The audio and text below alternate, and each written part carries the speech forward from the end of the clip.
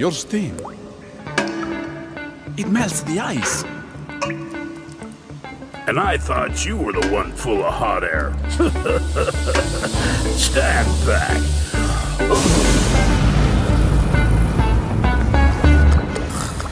My